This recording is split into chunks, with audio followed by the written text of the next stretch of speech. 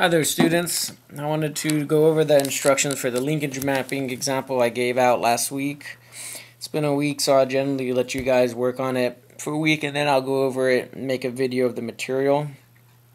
So you've you've seen this is the same .doc file I posted on the website. So so the first thing you want to do is you want to identify the parentals and these are the most common group of individuals. And then you want to define parentals as number one and number two. And then uh, pick one designation and stick to it. So you got parental number one and parental number number two here. They're the most common. And then you want to identify the double recombinants. These are the least common group of individuals because the chance of two recombination events is less than the chance of one recombination events. So we have these guys there and then these guys there. Okay. It's because that's only five out of, you know, it's the lowest number, five and eight. So then you want to determine what the middle gene is based on the phenotypic information. You can determine what the middle gene is based on the following analysis.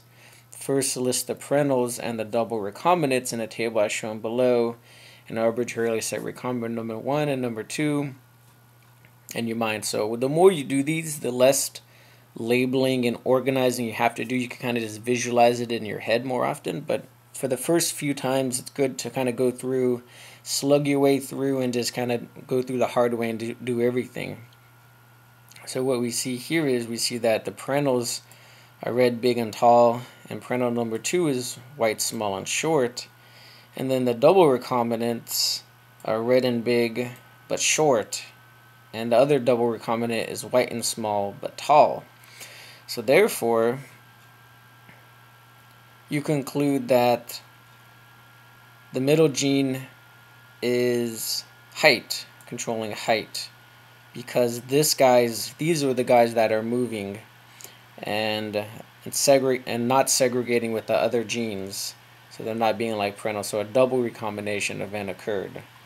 So this takes a little bit of mental manipulation because if you look at it here, it doesn't pop as much as if you look at it there or if you look at it in this coloration. So the coloration adds pop, but eventually you can hopefully just figure it out when it's everything is the same color like here. But here I even made it easier because the size I made the font capitalized and this font uh, lowercase. So it was actually easier also to see by the shape of the and size of the letters used. But nevertheless, height becomes the middle because that's the gene that's moving around. So that's important. Okay. Once you know that, then you could reorganize the given information in an easier to digest layout. If the given information is already organized in an easy to digest manner, please skip this step and now you identify the single recombinants and the and group them together based on similar amounts of observed individuals. So here and here, kind of one group, and then this is another group. So then you just reorganize it like that, and then you can label it. In the particular case, when the single recombinant groups are um, close to each other, then that means they're equal distance between the middle gene. Okay, that's a big thing to pick up. If these guys were actually also 80 and 85, not 27 and 30, 81 and 85, and not 27 and 30, here and here were actually the same as those guys, then they would actually probably be more closer, they would be equal distance to the middle gene. And in general, the more recombinants you see, single recombinants you see, the farther distance from the middle gene is. So we just picked the single recombinant group 1 and we make the little table, added color to make it pop. and, and we could see, you just kind of visualize and look and see what gene is not segregating with the parentals. Okay, so big and tall are together, small and shorter together. Okay, that's normal. But then the red and white. Oh, it's flip-flop, so these guys must be recombining. Therefore, we uh, add up these guys there. So the gene that controls height, uh, I mean coloration, must be recombining. So therefore, in this, in this, and that's where you get the numbers from there. So the total number of individuals that arose from a recombination event between color and height is 179. And now you just do that, 1,000 cases, for example, and now you have color 17.9 height, but you definitely don't know what the height, the, the distance between height and size is. And this orientation is also correct. Both configurations are okay. What is important is the distance between known genes is the same. but we can already assume that size is going to be much closer to height based on the lower recombination frequency or based on the lower individuals that have that recombination event. So it's only 30, 27 and 30 versus 85 there. So we go, oh, you know, okay, it's going to be closer. So that's a little trick too. Okay, boom, boom. And then you do the same thing here. And now you could see that da, da, da, da, da, coloration. Size is what's moving here. Tall and short. So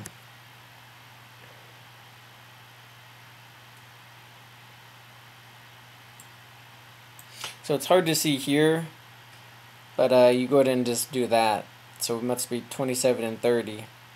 And then we got here, okay, height and size is only 7 because it's 27, 30 plus 5 and it makes 70. This is hard to see because we didn't reorder the genes. If we reorder the genes in the easier way to digest it, again by just putting um, height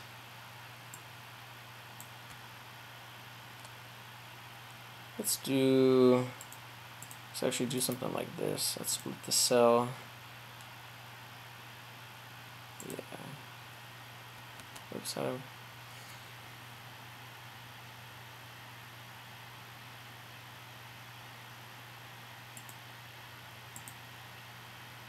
think I want two columns, right? Two columns, one row. And now to split the cell two columns, one row, split cell, two columns, one row, and then split cell, two columns, one row. kind of stretch it out. That looks much better. So now if I just put, oops, like that. Hmm, copy here. Okay, oops. Word is giving me a little trouble. Why it's copying the whole thing. If I put height in the middle, then I know size is going to be on one side. And then get rid of this.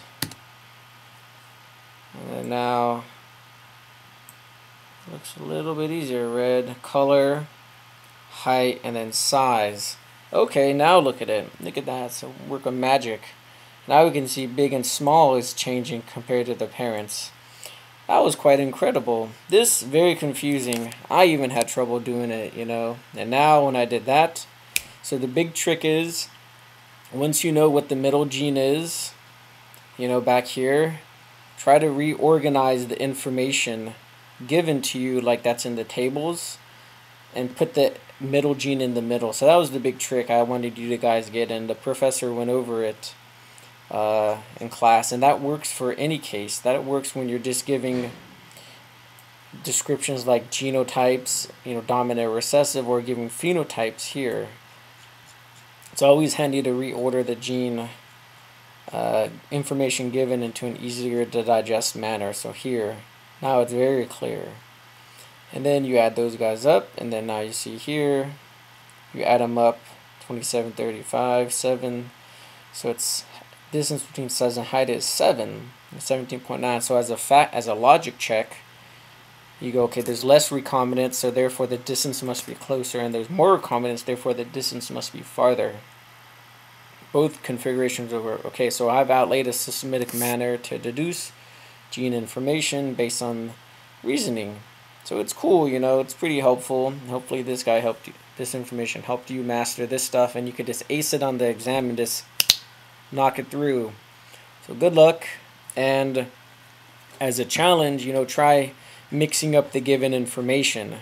You know, try mixing up this stuff here. This was a pretty hard example because it was very, very messy and you had to do a lot of reorganizing. But, you know, you can also use recombination and this recombination information to find out about the parentals. If you don't know anything about the parentals, then, you know, then you can work backwards. So, so good luck and hopefully this helped out.